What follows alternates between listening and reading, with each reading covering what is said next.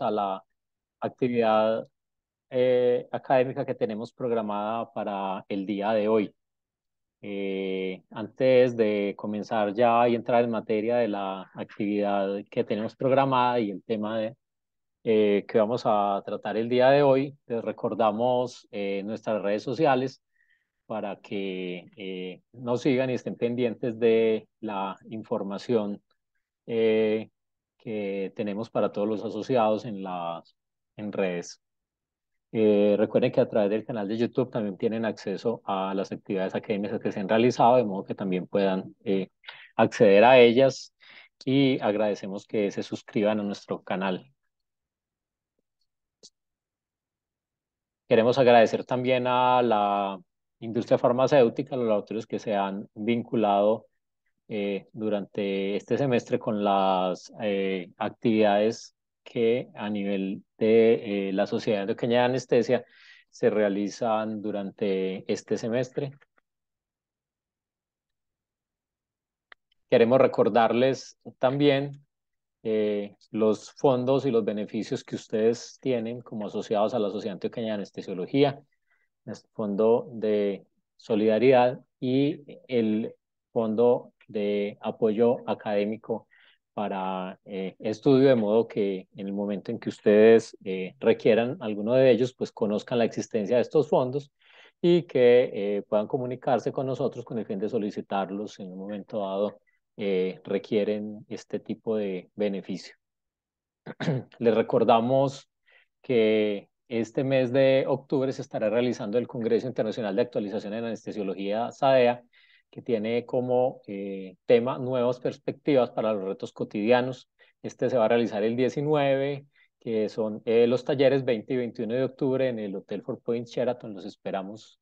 eh, a ustedes al correo. Probablemente ya les ha llegado la información para que se puedan inscribir a las, a las charlas. El, el bloque temático está bastante interesante. Nosotros tenemos en este momento eh, y hemos trabajado para tratar de ofrecer un, un congreso con una gran cantidad eh, de temas que está eh, girando en torno a la anestesia intravenosa, la reanimación en, en, en, el ámbito perioperatorio y algunos temas que son bastante interesantes. Así que los invitamos a que conozcan la programación, se enteren de primera mano de eh, nuestro programa académico y se inscriban a este congreso, que es una de las eh, grandes, de las actividades grandes que programa SADEA eh, a lo largo del año.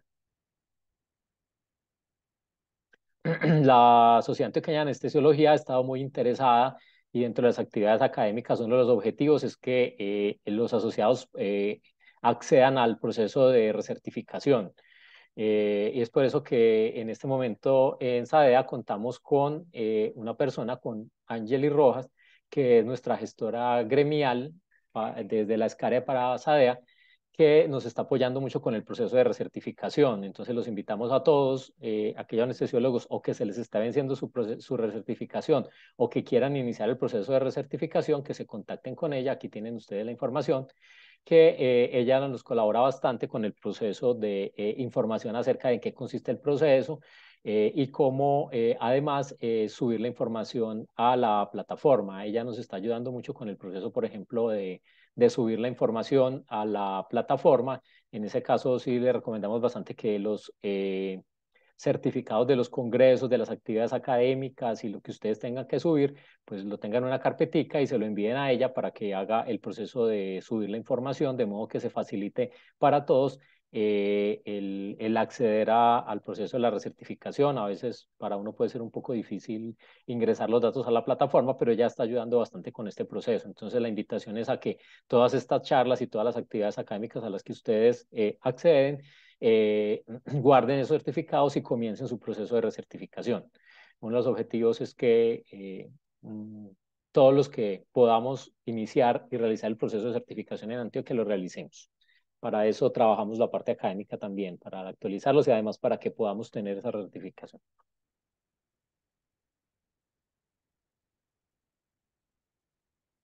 Eh, Vamos a dar entonces inicio a la actividad eh, de hoy. Eh, hoy nos acompaña el doctor Ricardo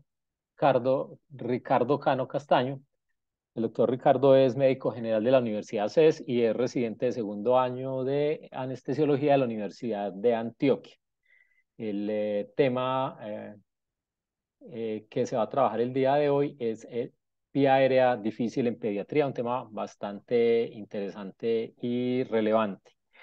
Eh, el doctor eh, Ricardo hace su presentación y posteriormente ustedes pueden hacer sus, eh, plantear sus inquietudes a través de el chat para que la recojamos y después hagamos un poco de discusión. En ese proceso también nos van a acompañar el doctor Juan Luis Ramírez y la doctora Susana Osorno, que son docentes de anestesiología de la Universidad de Antioquia para enriquecer ese proceso de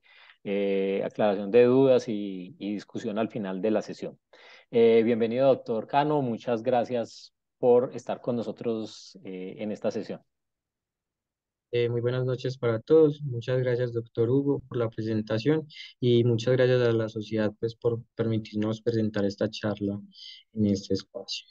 voy a proceder a compartir la pantalla y ya continúo.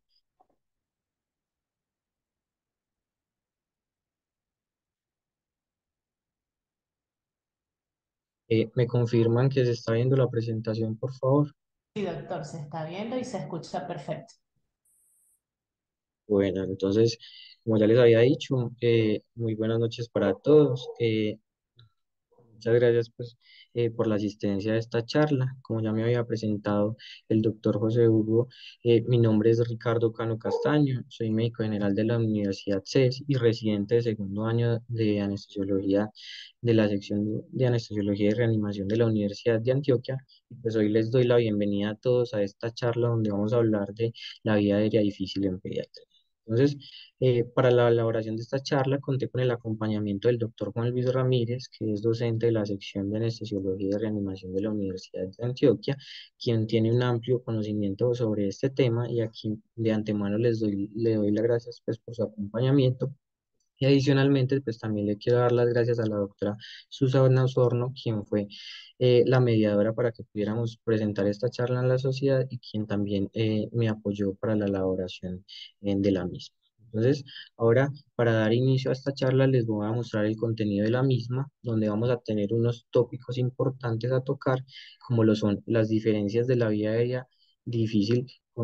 de la vía aérea con respecto al adulto, las definiciones y la epidemiología de la vía aérea difícil, cómo vamos a predecir esa vía aérea difícil en la población pediátrica, qué hay en la actualidad con respecto al manejo de la misma y cómo vamos a realizar oxigenación apneica en esta población. ¿Qué técnicas, vamos, qué técnicas anestésicas vamos a usar, ya sea sedación, inducción o relajación? ¿Qué dispositivos y técnicas tienen evidencia para el manejo de la misma? Y por último, pues vamos a tener unas, unas conclusiones con respecto a este tema.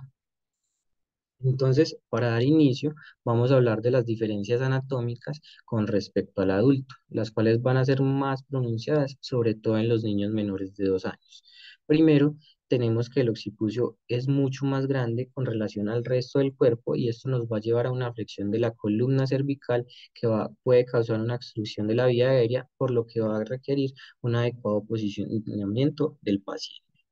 El segundo factor es que esta población tiene una laringe más cefálica y anterior, que al nacimiento pues se encuentra entre, C, entre C3 y C4, que posteriormente se va a desplazar hacia C5 y hacia C6 alrededor de los 6 años. Esta elevación de la laringe lleva a una visualización difícil cuando realizamos una laringoscopia directa. En tercer lugar, tenemos que sus fosas nasales son mucho más pequeñas y la lengua va a ocupar un mayor espacio con respecto a la cavidad oral, lo cual va pues, a ofrecer una resistencia al flujo durante la ventilación. Además, la lengua tiene un desplazamiento muy limitado, lo que también puede generar dificultades con la laringoscopia.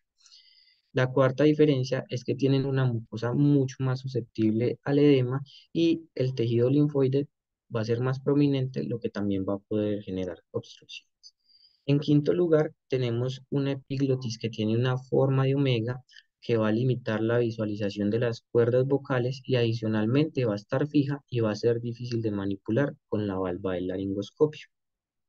Pasando a las diferencias fisiológicas, tenemos que estos pacientes van a tener una baja reserva y un consumo aumentado de oxígeno, lo que lleva a una menor capacidad funcional residual y lo que explica la rápida desaturación en comparación con los adultos. En segunda instancia, eh, tienen una mayor proporción de fibras respiratorias tipo 2 en el diafragma, lo que hace que sean más susceptibles a la fatiga y adicionalmente tienen una vía aérea inmadura que es fácilmente colapsable con una caja torácica que es altamente distensible y un parénquima rígido, lo cual pues también los va a predisponer a desarrollar atelectasis. Estos pacientes también tienen una mayor reactividad de la vía aérea, lo que lleva a que tengan una mayor incidencia de broncoespasmo y de laringoespasmo. Y por último, pues su recuento de alvéolos es menor al de los adultos y se iguala alrededor de los 8 años, lo que explica que tengan una menor capacidad pulmonar total. Adicionalmente, pues estos pacientes presentan un tono parasimpático predominante que hace que ante situaciones de estrés como hipoxia vayan a presentar bradicardia y paro cardiorrespiratorio.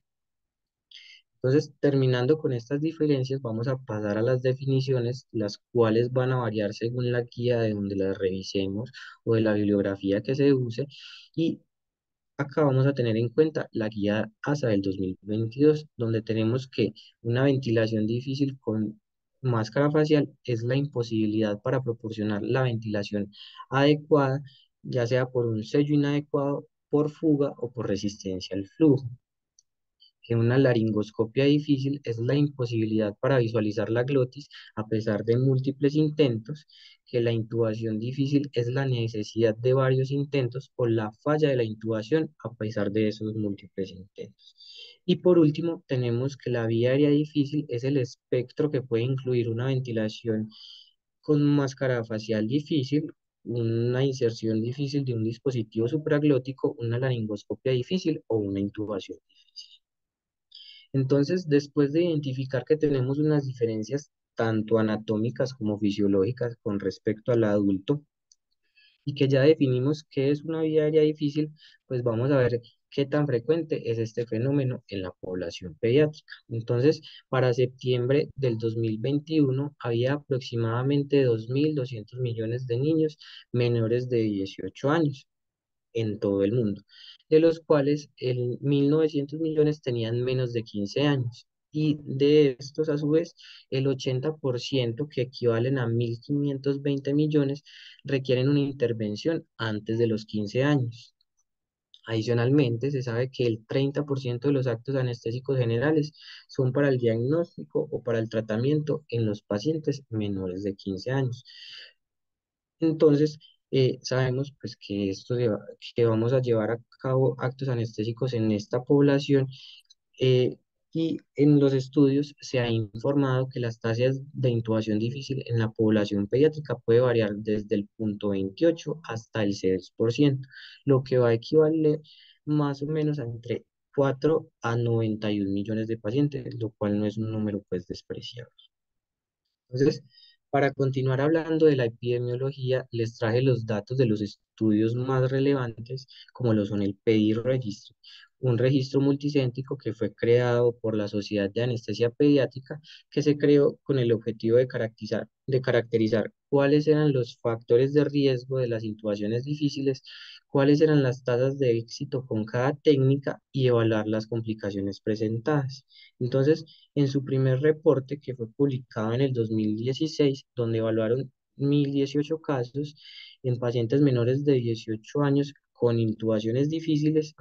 se demostró que la incidencia de intubación difícil era del 0.2 al 0.5%, de los cuales el 80% iban a ser vías aéreas difíciles predichas o anticipadas.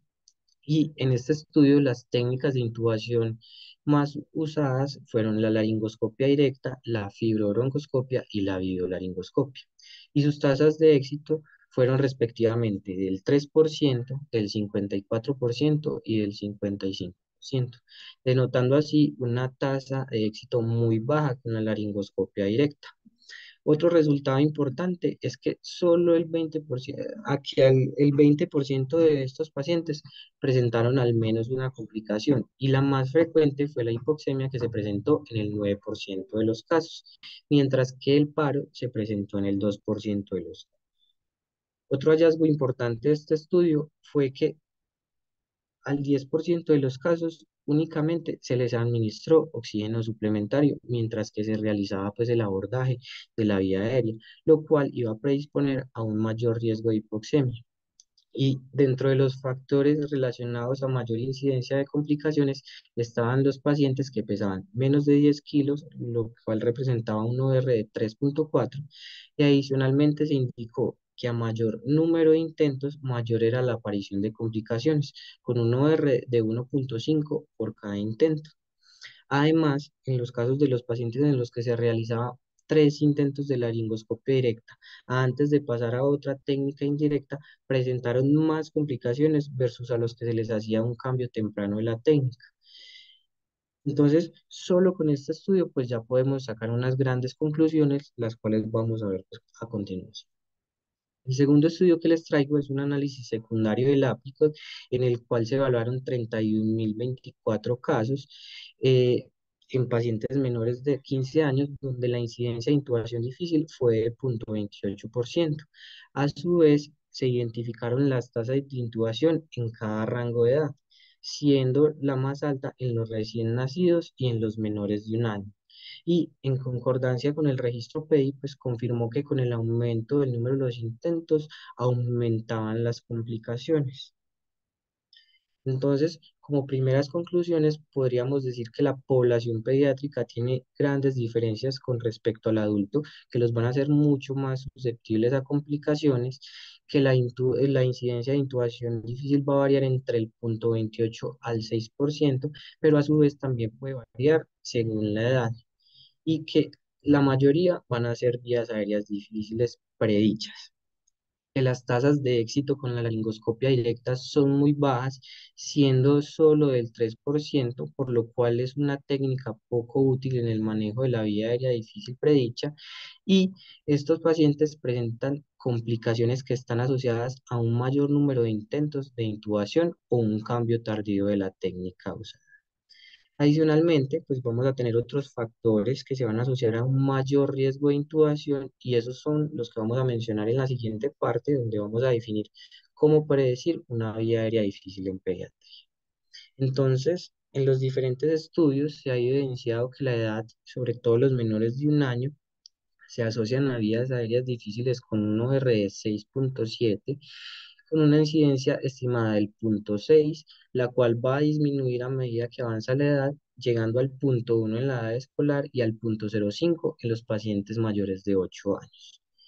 Otro factor importante es el peso, donde se ha visto que los pacientes que pesan menos de 10 kilos tienen una mayor incidencia de vía aérea difícil.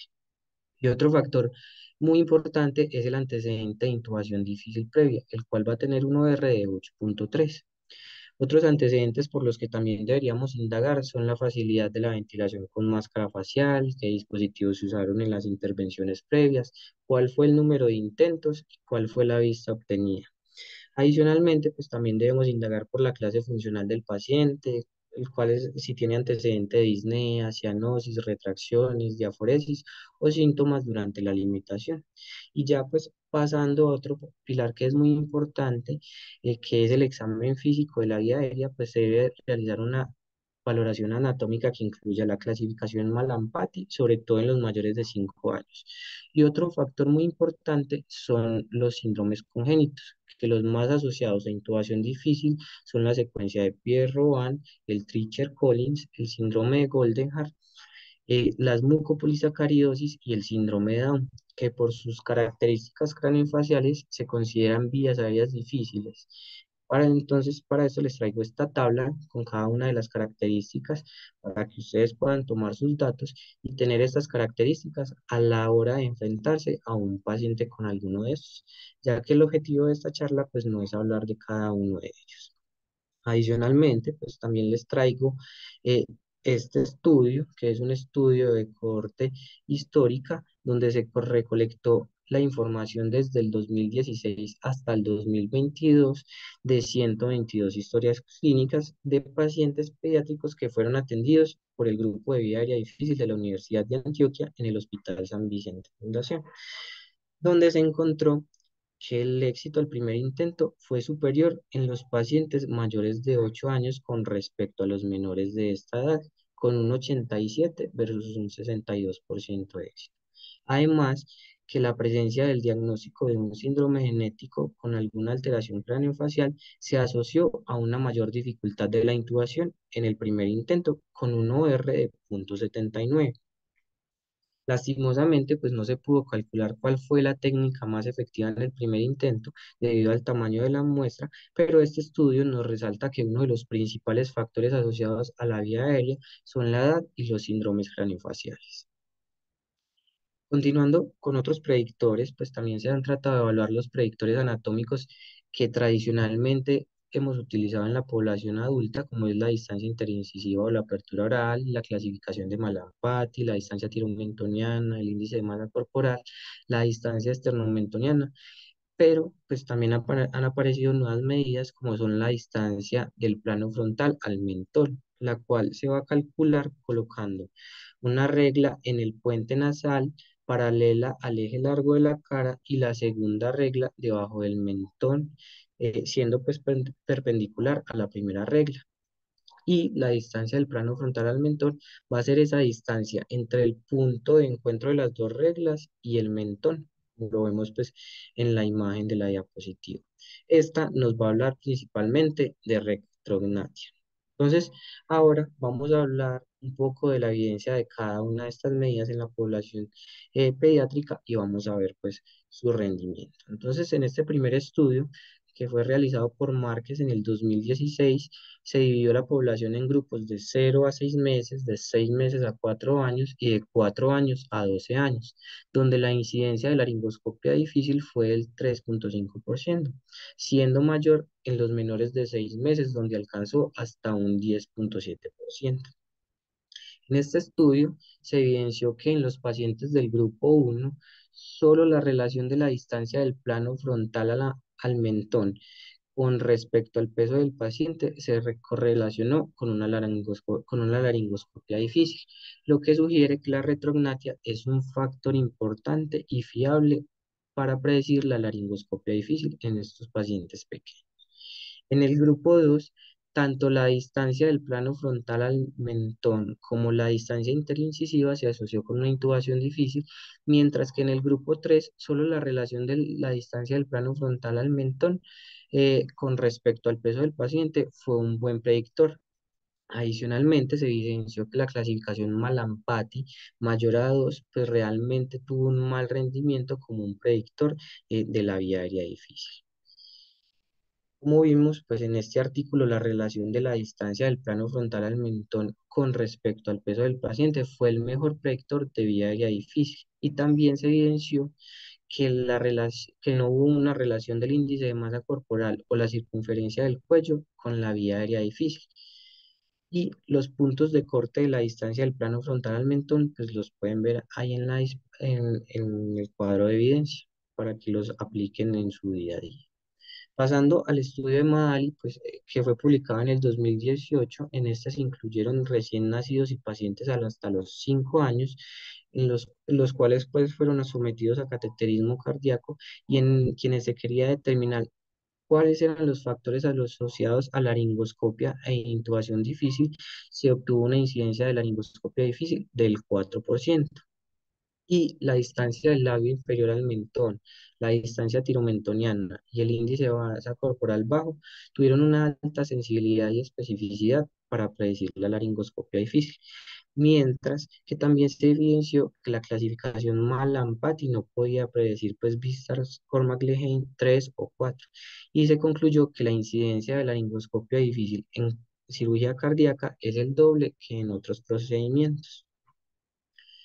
En este estudio de Aparna, eh, en que los pacientes iban de 0 a 28 días, se quiso evaluar el rendimiento de la distancia del plano frontal al mentón, nuevamente en relación al peso del paciente, como un predictor de intubación difícil. Y como desenlaces secundarios, pues se evaluaron otros parámetros. En este se encontró que la incidencia de laringoscopia difícil fue del 9% y de, y de intubación difícil del 3%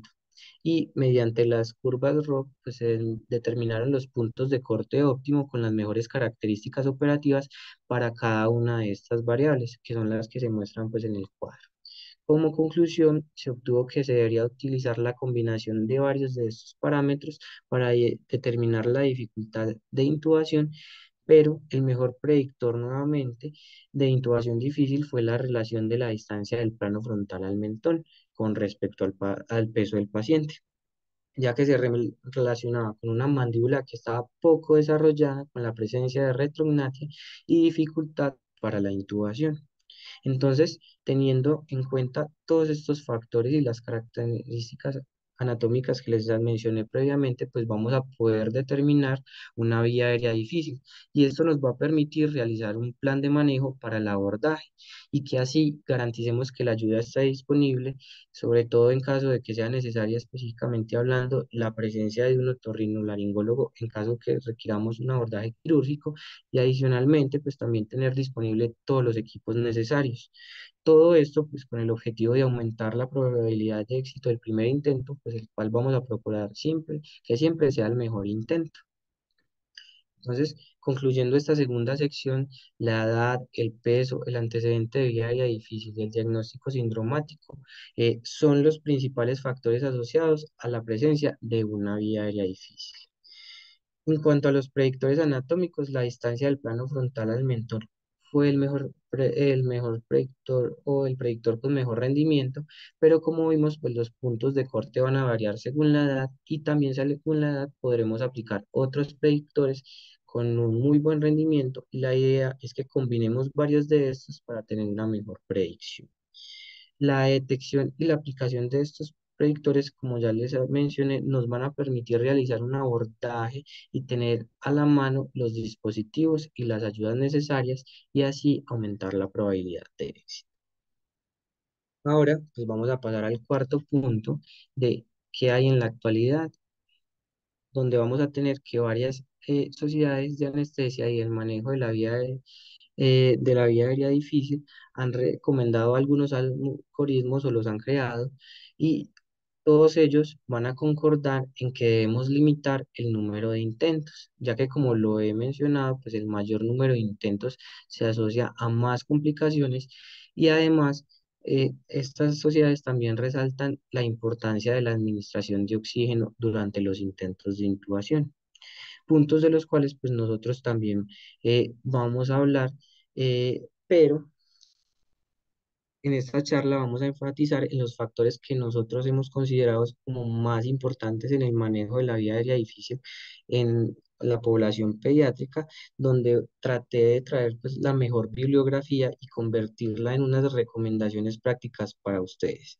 Y esto lo vamos a hacer en un orden lógico. Primero vamos a hablar de unas estrategias de optimización, luego vamos a definir la técnica la técnica anestésica, Posteriormente vamos a hablar de qué dispositivo o, técnica vamos a usar para el manejo de la vía aérea. Y por último vamos a hablar un poco de la ventilación, de la no ventilación, no oxigenación. Entonces, en cuanto a las técnicas de optimización, eh, estas se definen como las estrategias que, las estrategias que podemos implementar previamente o durante el procedimiento del aseguramiento de la vía aérea para mejorar las condiciones y aumentar el éxito eh, del intento. Dentro de estas vamos a tener el posicionamiento del paciente, la premedicación del paciente para obtener ya sea ansiolisis, disminución de las secreciones o disminución de la, de la reactividad de la vía aérea. Y por último, pero no menos importantes, las técnicas de oxigenación, como son la administración de oxígeno suplementario, principalmente en las intubaciones despierto, o la oxigenación apneica en los pacientes que son inducidos. En estas últimas son en las que nos vamos a centrar, ya que como vimos, la principal complicación eh, de estos pacientes es la hipoxemia, la cual se presentó, como ya les había mencionado, en el 9% de los pacientes del primer artículo del registro PEI. También se evidenció que se presentaban el 13% de los pacientes del NIAR for Kids y en el 75% de los pacientes del NIAR for Neos. Entonces, esta es la principal causa de interrupción de los intentos de intubación. Entonces, en este estudio realizado en 50 pacientes que iban desde los 0 a los 10 años, se dividieron en cuatro grupos, que son los que se ven en la, en la diapositiva, en los cuales se midió el tiempo necesario para alcanzar una saturación del 90% después de una preoxigenación con máscara facial. Se tuvo como límite el 90%, porque pues realmente no sería ético pues dejar que baje la saturación más de este punto se evidenció que el tiempo necesario para alcanzar la saturación del 90% se correlacionó con la edad del paciente, donde a menor edad, menor tiempo de apnea segura y donde los pacientes de 0 a 6 meses tenían un tiempo de tan solo 96 segundos y los pacientes de 6 a 10 años de 214 segundos. Entonces, teniendo en cuenta estos factores, vamos a pasar pues, a hablar en sí de la oxigenación apneica con la cual pues vamos a lograr retrasar la aparición de la hipoxemia y esta va a depender de las siguientes condiciones que haya una adecuada preoxigenación que permita minimizar la presión parcial de nitrógeno y así maximizar el gradiente alveolo capilar de oxígeno, que haya un reclutamiento, lo cual nos va a dar también una mínima relación de la ventilación-perfusión, que haya un flujo continuo eh, de oxígeno hasta el alveolo, lo que también va a implicar que no haya obstrucción de la vía aérea, ya sea superior o inferior, y debe haber apnea para que no haya un ingreso de aire ambiente por esfuerzo respiratorio del paciente. Hay que resaltar que esta técnica se guarda exclusivamente para los pacientes con vía aérea difícil no anticipada, a los cuales inadvertidamente se les llevó a la apnea, mientras que a los pacientes con vía aérea predicha, en los cuales se procura mantener la ventilación espontánea, el estándar de seguridad pues, va a ser la administración de oxígeno suplementario. hay que tener en cuenta pues, que estas técnicas eh, pues ambas técnicas se pueden administrar mediante los mismos dispositivos que van a ser cánulas nasales convencionales, vías aéreas eh, nasofaringias o tubos traqueales modificados y los sistemas eh, nasales unificados y de alto flujo que también van a permitir administrar oxígeno incluso hasta 80 litros por minuto y a generar una presión positiva en las vías aéreas respiratorias. Entonces, con respecto a la oxigenación apneica, pues les traigo estos estudios. El primero fue publicado en el 2016, el cual es un RCT que se realizó en pacientes de 1 a 17 años, en los que se evaluó la oxigenación apneica comparando la, la laringoscopia directa versus la laringoscopia directa más oxígeno versus la biolaringoscopia más oxígeno. Y se obtuvo unos mayores tiempos de apnea segura cuando se administraba oxígeno suplementario.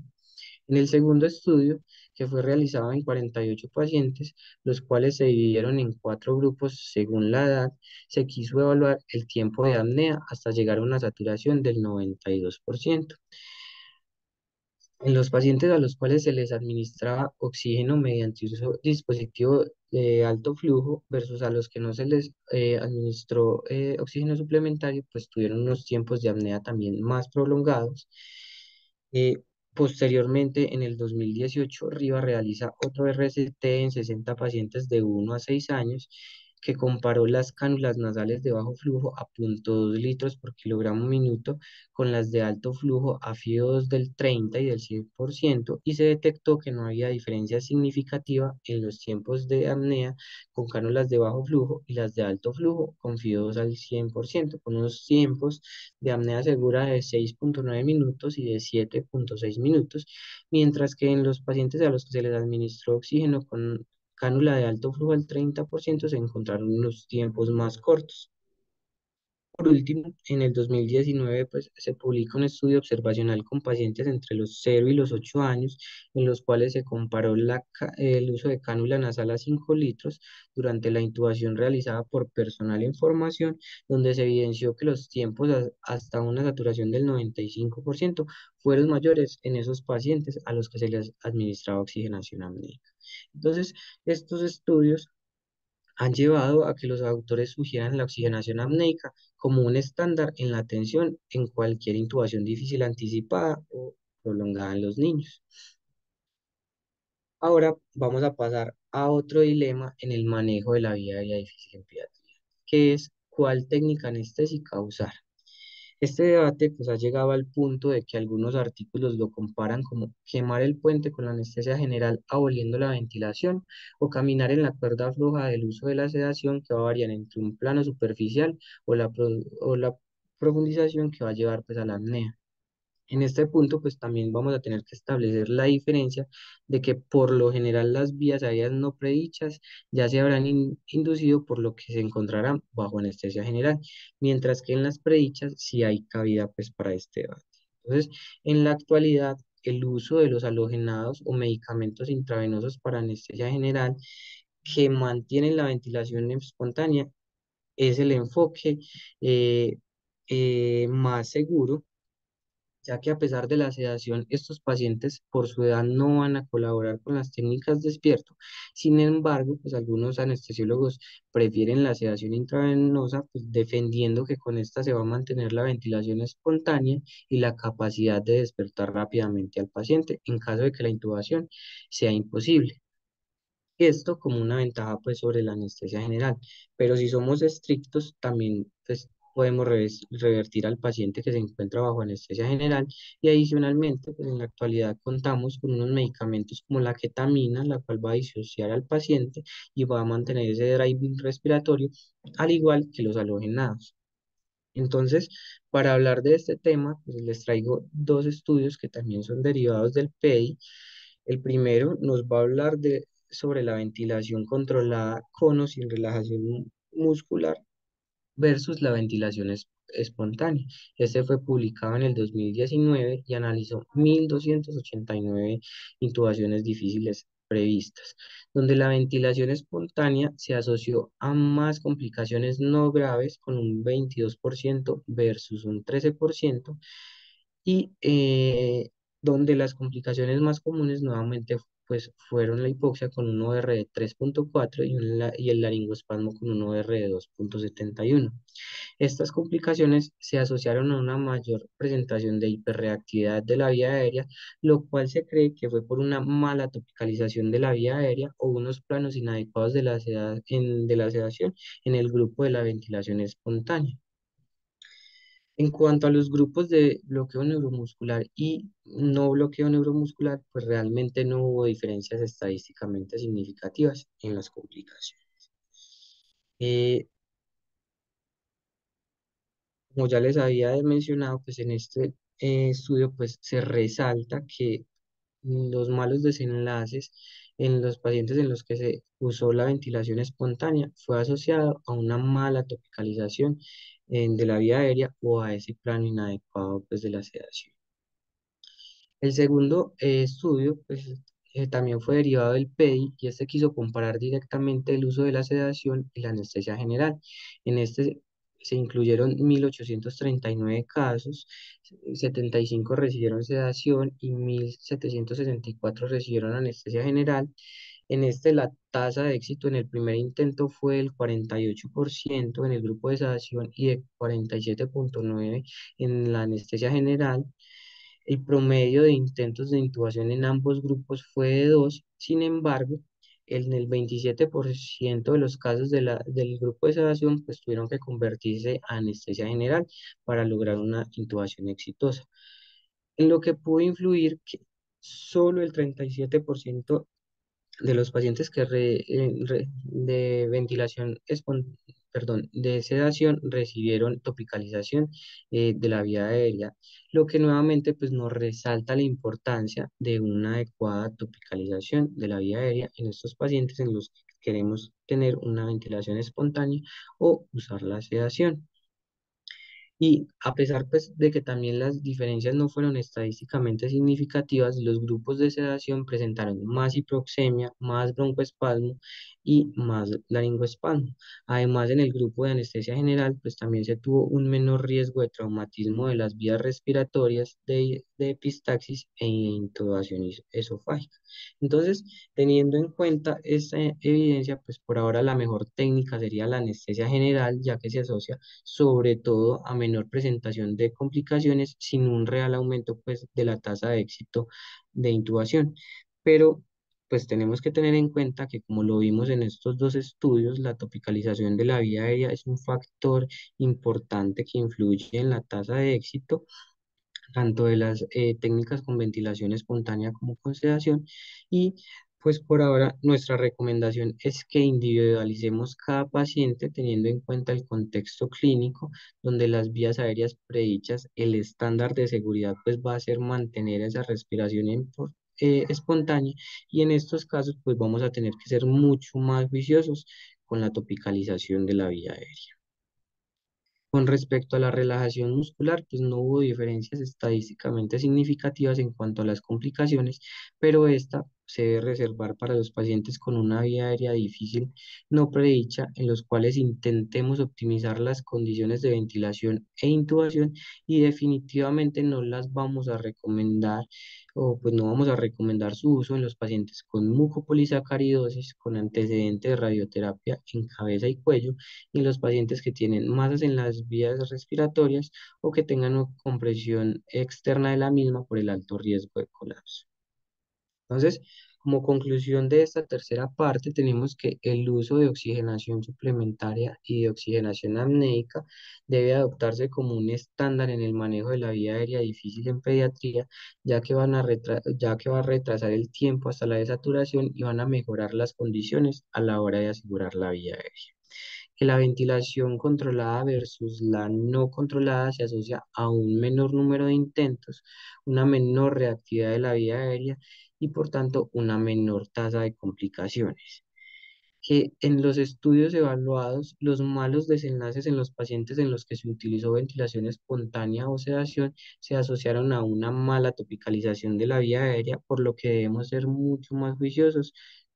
con esta en las técnicas, eh, cuando utilicemos estas técnicas. Y por último,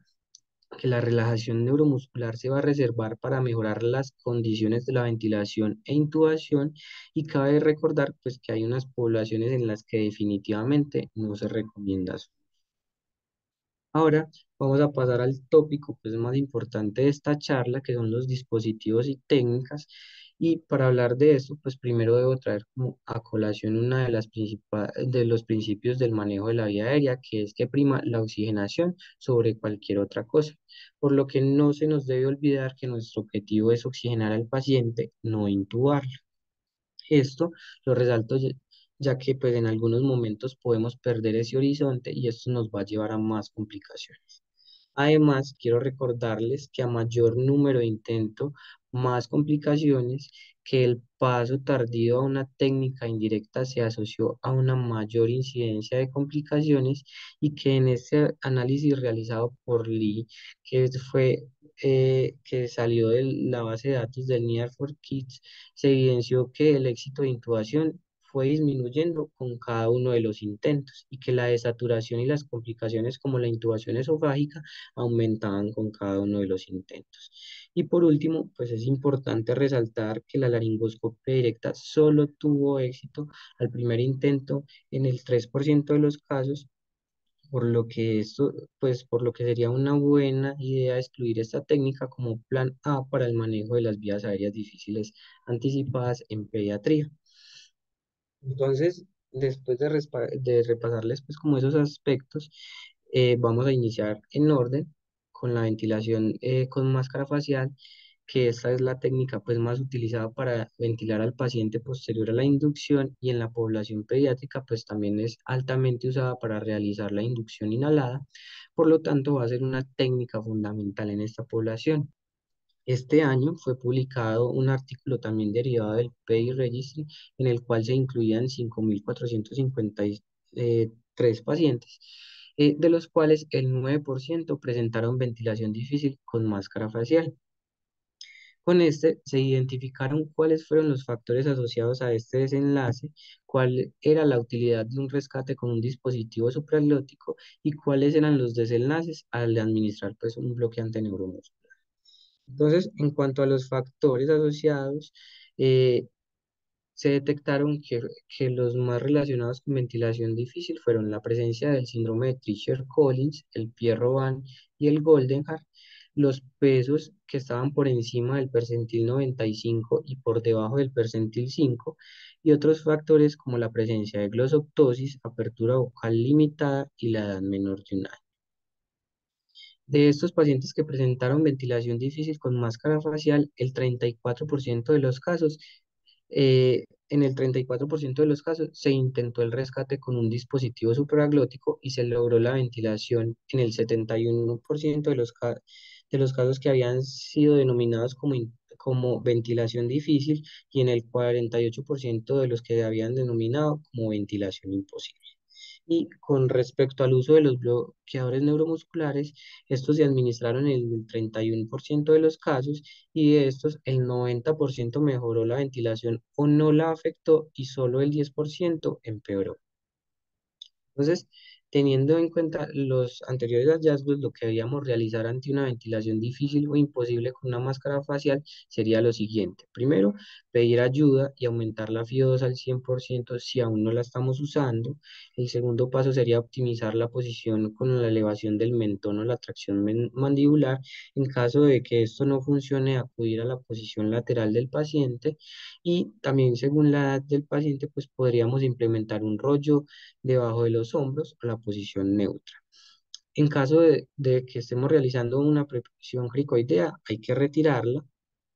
Eh, en el tercer paso sería verificar los dispositivos, las conexiones y si pues tenemos duda pasar al paciente a un dispositivo autoinflable. En cuarto lugar tenemos aumentar la profundidad, introducir una cánula ya sea oro o nasofaringe para que aumentemos la permeabilidad y pues si a pesar de esto persiste la dificultad para la ventilación, deberíamos sospechar la presencia de un laringoespasmo, que en caso de que lo presentemos, pues deberíamos tratarlo inmediatamente.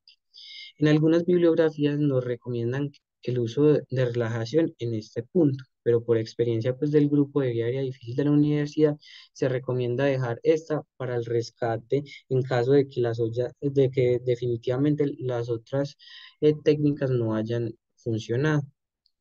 Por tanto, antes deberíamos evaluar la posible presencia de una distensión gástrica, que es una de las causas de dificultad para la ventilación eh, en esta población y si es necesario, pues la deberíamos tratar con una sonda nasogástrica. Y por último, pues deberíamos acudir a nuestro plan A de intubación, al plan B de rescate con un dispositivo supraglótico. Y si a pesar de esto, pues no podemos, ahí sí deberíamos usar el relajante en neuromuscular, como yo les había mencionado, para optimizar las condiciones de ventilación o intubación. Entonces, ya pasando en sí a las técnicas de intubación, tenemos que tradicionalmente la técnica más usada es la laringoscopia directa pero como vimos, pues su efectividad en el primer intento es del solo 3% en la población pediátrica con vía aérea difícil, por lo que las técnicas indirectas han tomado eh, gran importancia en esta población como primeras opciones. Entonces, dentro de estas tenemos el videolaringoscopio, el cual con el paso del tiempo pues ha venido evolucionando y se han introducido pues toda esta cantidad de dispositivos para el uso en la población pediátrica y estos se han introducido tanto, tanto con, válvula, eh, con valvas estándar, como vemos a la izquierda, como con valvas hiperanguladas. Eh, pero realmente, ¿cuál es la utilidad del, de este dispositivo en, en, el manejo de la vía aérea pediátrica? Entonces, eh, tenemos entonces que estos primeros estudios derivados del PEI compararon la eficacia del Glisco con la laringoscopia directa y en este se incluyeron 1.295 pacientes y se evaluó la tasa de éxito de cada una de las técnicas, donde el éxito inicial fue del 53% versus el 4% y el, la tasa de éxito eventual fue del 82% versus el 21%. Realmente no hubo un aumento de las complicaciones con las diferentes técnicas, pero sí hubo un aumento con, eh, del número de intentos, eh, lo que se relacionó a un, a un aumento de las complicaciones con un OR del 2 por cada intento adicional. Otro hallazgo de este estudio fue que los pacientes que pesaban menos de 10 kilos tuvieron unas tasas de éxito más bajas que los que pesaban más de 10 kilos y algo que debe llamar mucho la atención de este estudio fue que el 77% de los casos de intubación exitosa con eh, laringoscopia directa eh, fue con un paso del tubo a ciegas. Entonces, esto nos confirma que la laringoscopia directa no es una buena técnica como, una como primera línea en estos pacientes, pues a menos de que queramos poner a prueba nuestra suerte. Eh, este estudio pues, nos confirma que la videolaringoscopia tiene una tasa de éxito mayor que la laringoscopia directa, pero otra pregunta que nos surge es que, ¿qué valva debemos usar? Entonces, para dar eh, respuesta a esta pregunta, en el 2020 se publicó otro estudio que también fue derivado del PEI, donde se, eh, donde se analizaron 1.313 pacientes, donde se usaron hojas estándar versus hojas no estándar o hiperanguladas y se evidenció que en los pacientes que pesaban menos de 5 kilos, las hojas estándar tenían un mayor éxito con un 51 versus un 26% en los intentos iniciales y un 81 versus un 58% en los intentos finales, con lo que se determinó que la hoja estándar tenía tres veces más probabilidad de éxito en comparación con la hoja no estándar y un OR de 2.6 en los pacientes que pesaban menos de 5 kilos. Además, pues, también se confirmaron los datos del estudio anterior, donde en cada intento adicional se asoció a casi el doble la probabilidad de presentar una complicación.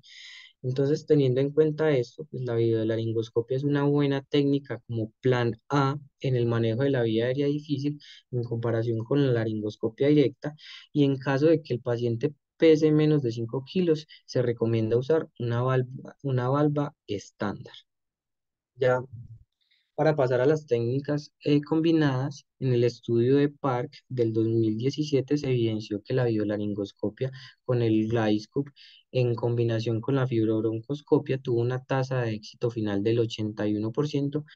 comparada con el 68% de cuando solo se usaba el Glyscope. Y esto puede suceder debido a que a pesar de que usemos el videolaringoscopio con valva hiperangulada, lo cual nos permite tener una adecuada visualización glótica, podemos presentar dificultades, sobre todo a la hora de avanzar el tubo. Entonces, con esta técnica combinada, el fibrobroncoscopio se convierte en una guía dinámica que va a facilitar el paso del tubo por la tráquea.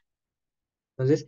esta técnica va a consistir en inicialmente insertar el videolaringoscopio y obtener una adecuada visión glótica, posteriormente introducir el fibrobroncoscopio con el tubo montado,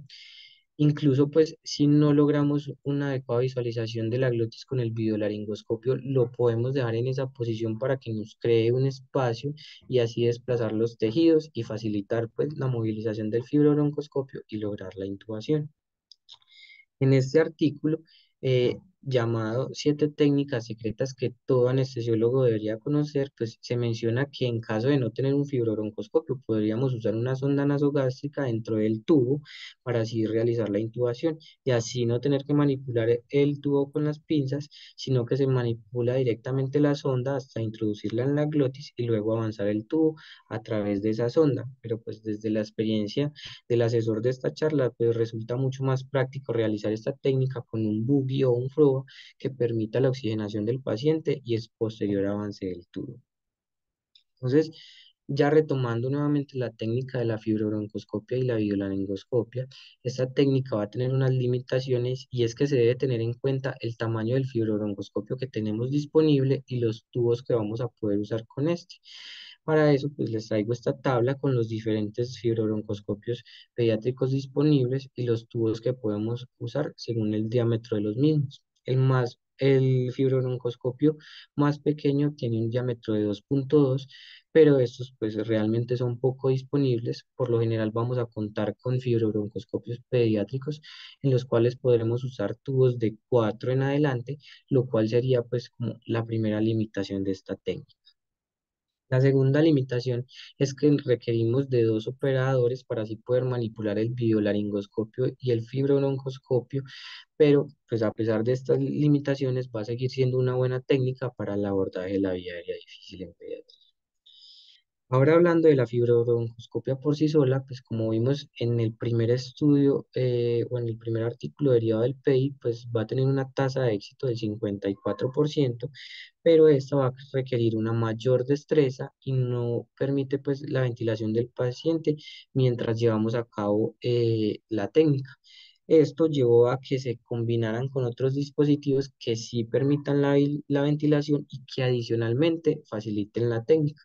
lo, como lo vemos pues a continuación, que vamos a hablar de la técnica de fibrobroncoscopia sobre un dispositivo supraglótico, la cual pues en este estudio realizado en el 2017 con 1.603 pacientes que comparó la intubación con fibrobroncoscopia a través de dispositivo eh, supraglótico y la videolaringoscopia,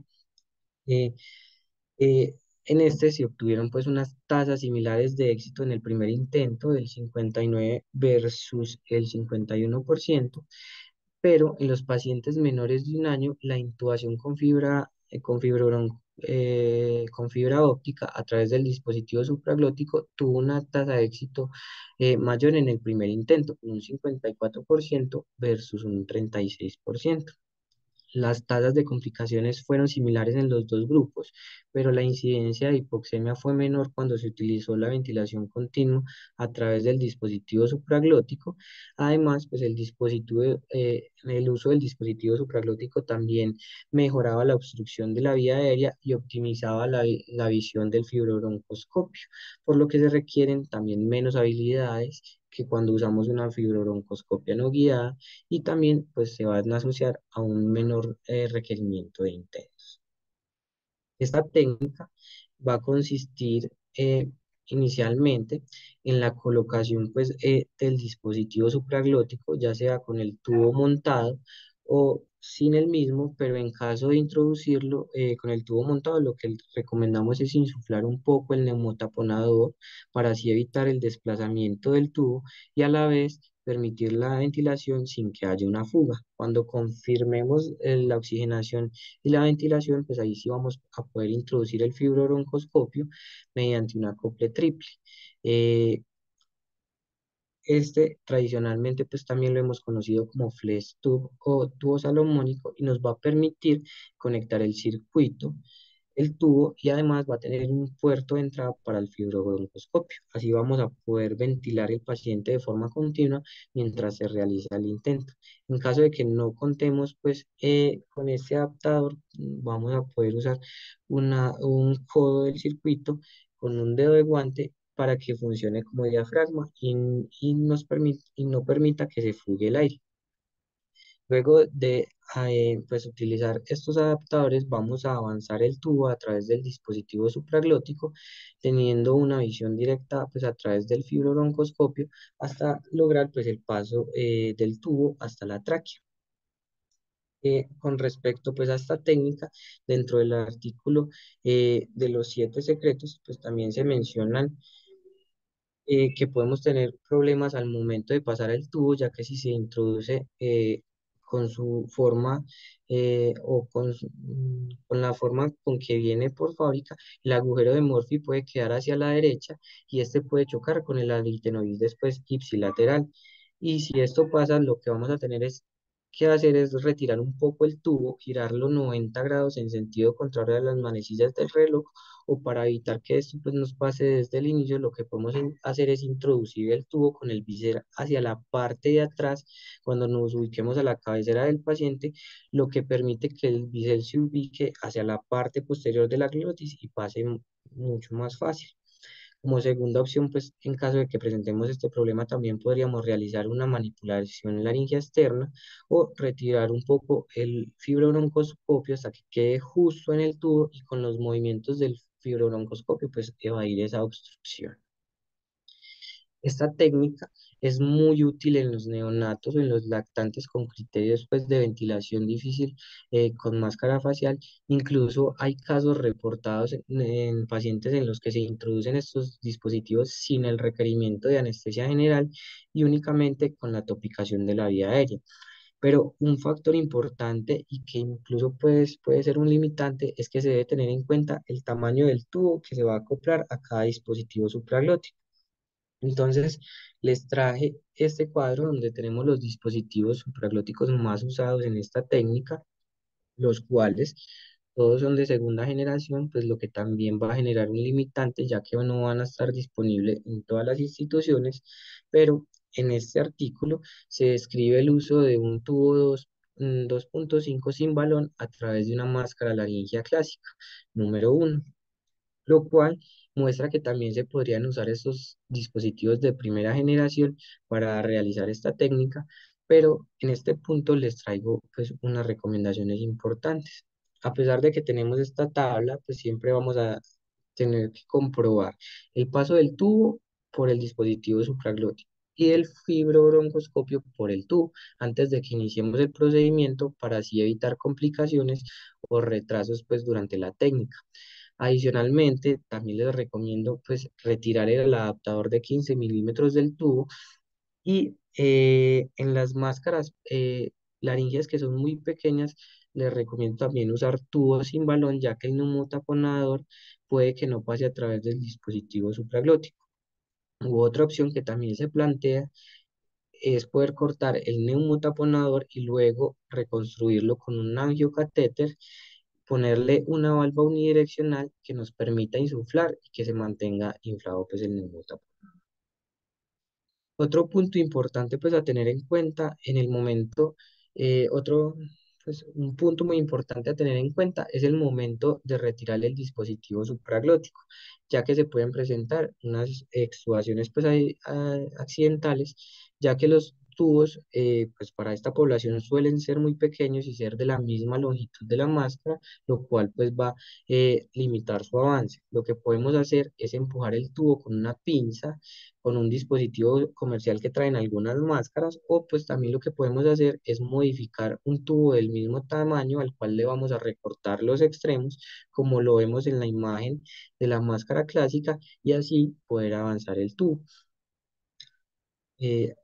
ya pues como la evidencia de esta técnica, les traigo eh, estos dos estudios realizados por el grupo de vía aérea difícil de la Universidad de Antioquia, del cual hace parte pues el doctor Juan Luis Ramírez. Es, eh, el primero se publicó en el 2018 que fue una serie de casos prospectiva de 39 pacientes que evaluó la tasa de éxito de intubación a ciegas a través pues, de una máscara Aigel, la cual fue solo del 23% pero como un hallazgo adicional se observó, se observó pues, la visión glótica ideal con fibrobroncoscopia, eh, eh,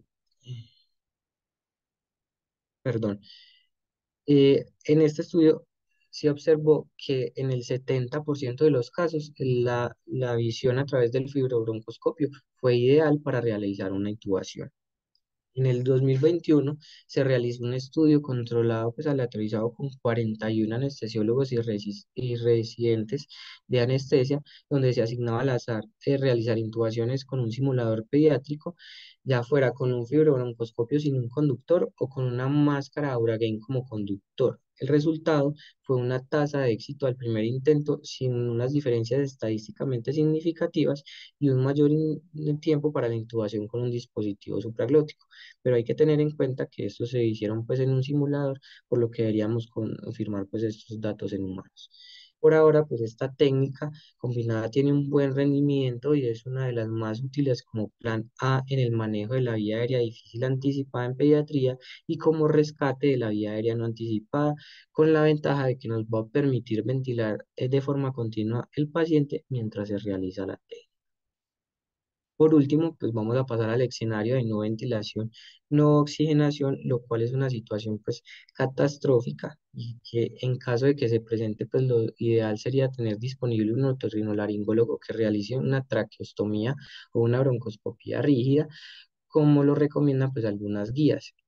Pero en el contexto de que no esté disponible el, otorrino, el otorrinolaringólogo, pues definitivamente eh, nosotros como anestesiólogos seríamos los encargados de abordar e-, esta problemática y lo que encontramos en la bibliografía es que los estudios realizados han demostrado que las tasas de éxito del abordaje anterior de la vía eh, al abordaje invasivo de la vía aérea pues las tasas de éxito han sido bajas y se han asociado a complicaciones como falsas rutas, perforación de la pared posterior de la tráquea y al daño de órganos adyacentes, por lo que hasta el momento pues realmente no hay una técnica que se prefiera sobre las otras. Adicionalmente, se ha demostrado que el rendimiento de la palpación en la población pediátrica es bajo y se cree que la ecografía pues podría facilitar la identificación de la membrana o la tráquea, pero también hay que tener en cuenta las limitaciones de esta técnica que es operador dependiente y que es poco usado tanto, eh, que es muy poco usado por lo que vamos a tener poca familiaridad con la misma y no la vamos a poder interpretar de una buena manera, lo que se va a asociar pues a malos desenlaces. Por tanto, pues estos abordajes y solo los deberíamos realizar en situaciones realmente emergentes y tendríamos que realizarlos sin un verdadero soporte y con un alto riesgo de complicación. Ya como conclusiones finales, tenemos que la ventilación difícil con máscara facial requiere un manejo sistemático y se puede usar los dispositivos supraglóticos y relajantes neuromusculares como técnicas de rescate, que la biolaringoscopia es una técnica indirecta que ha demostrado mayor tasa de éxito con respecto a la laringoscopia directa, por lo que se debe considerar como primera línea y específicamente en los pacientes que pesan menos de 5 kilos, lo que se recomienda es usar una valva estándar, que la técnica de laringoscopia más fibrobroncoscopia mejora también la tasa de éxito, que facilita la introducción del tubo que a veces puede ser complejo a pesar de tener una adecuada visión glótica la técnica de fibrobroncoscopia más dispositivo supraglótico aumenta la tasa de éxito en menores de un año, que disminuye el riesgo de hipoxemia al permitir la ventilación mientras se aborda la vía aérea y puede ser usada tanto como técnica eh, de primera línea o como técnica de rescate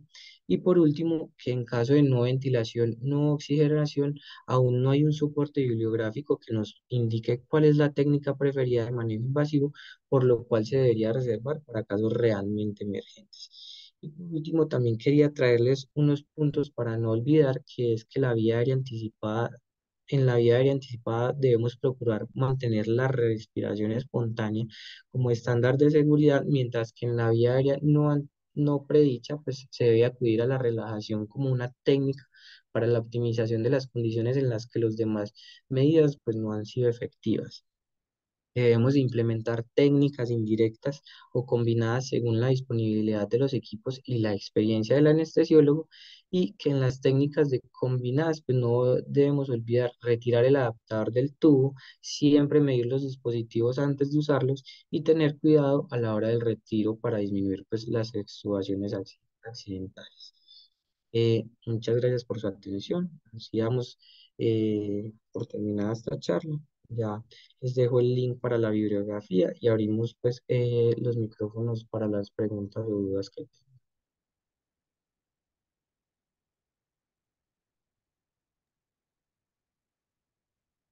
Muchas gracias, Ricardo, por la charla, muy buena, muy completa. Eh, por el chat pueden plantear las preguntas eh, que tengan para que las podamos plantear acá en, el, en la sesión.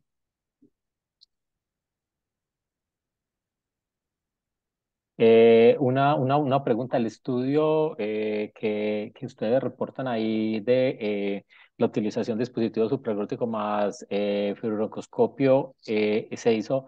con pacientes con ventilación espontánea.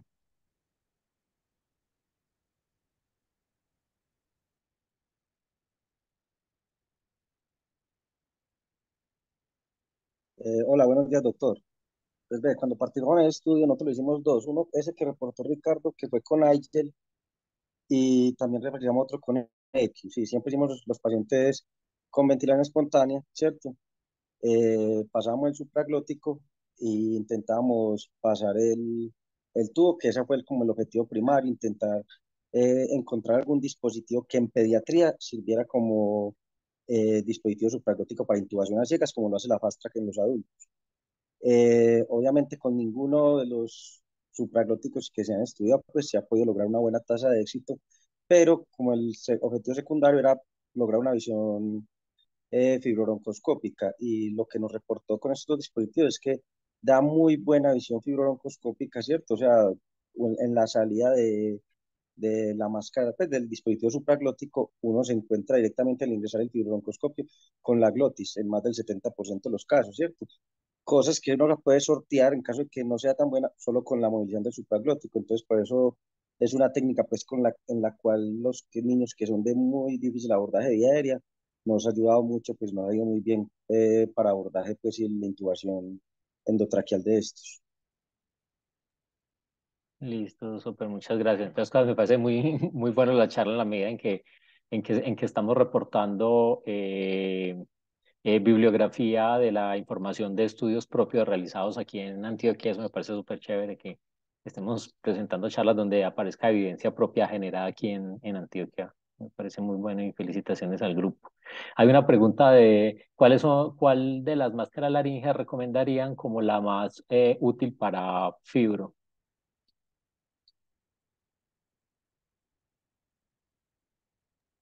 Bueno, en realidad, pues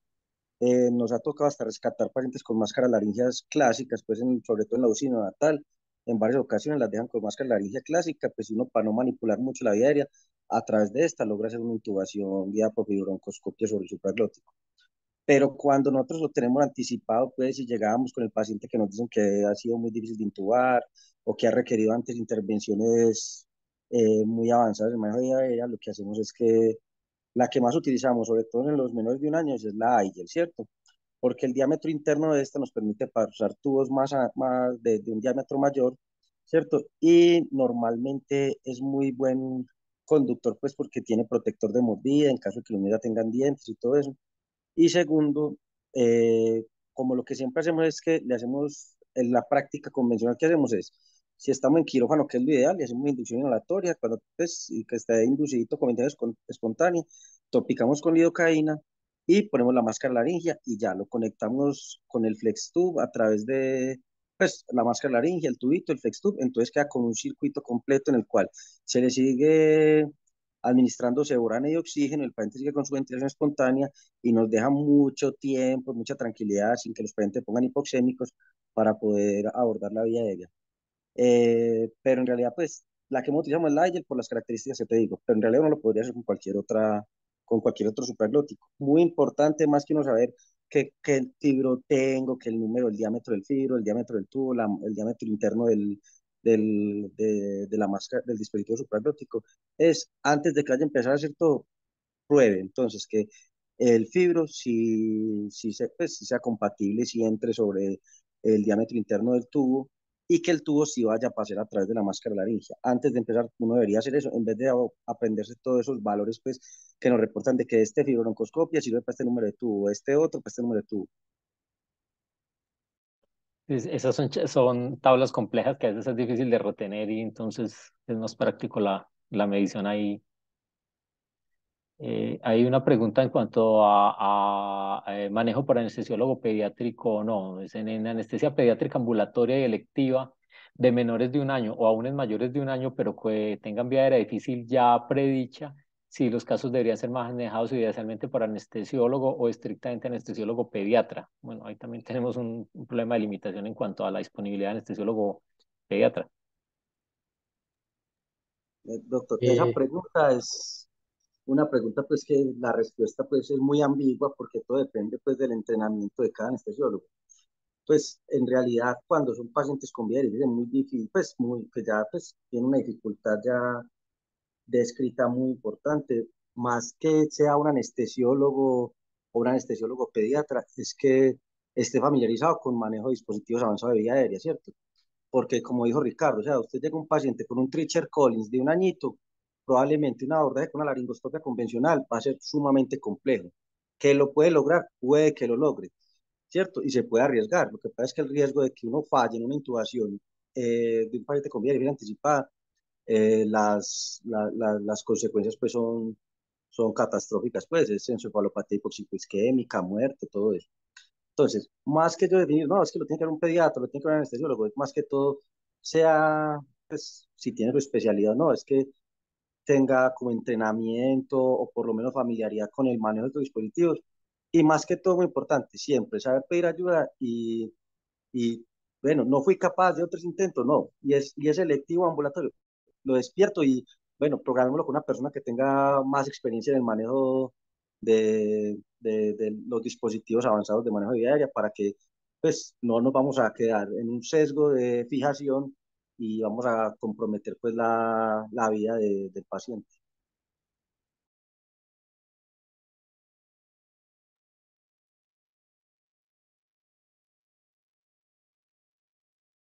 Eh, doctor, yo también quería pues ah, hablar respecto a eso de la necesidad de un anestesiólogo pediátrico, no. Pues realmente no es estrictamente necesario que el anestesiólogo sea pediátrico, pero lo que sí ha visto en los estudios por ejemplo, el Apricot se ha visto que cuando estos pacientes son montados por anestesiólogos que hacen menos de 150 casos de anestesia pediátrica al año, se asocian a mayores complicaciones. Entonces, la recomendación es que sea eh, este caso montado por un anestesiólogo que esté familiarizado con el manejo de pacientes pediátricos y específicamente en este caso que esté familiarizado con estas técnicas para el abordaje de la vía aérea difícil en pediatría.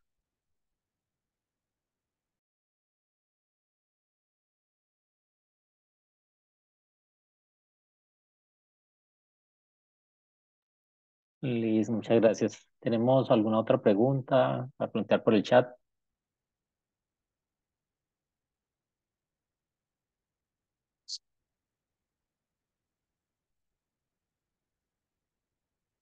Listo, creo que en ese momento no hay más preguntas. La charla fue muy clara. Eh, muchas gracias, doctor Ricardo, doctor Juan Luis y doctora Susana. Creo que fue una charla muy importante, muy relevante y muy práctica. Les agradecemos mucho por su participación en esta actividad esta noche. Eh, muchas gracias a ustedes, doctores, por la invitación y muchas gracias a todos los asistentes. Eh, cualquier duda, pues también quedo atento. Es, las redes sociales pues me pueden encontrar fácilmente o por el correo institucional de la Universidad de Muchas gracias a todos. Muchas gracias a todos por eh, la asistencia a la charla y recuerden hacer el seguimiento por redes y estar pendientes de las actividades académicas de SAEA. Muchas gracias.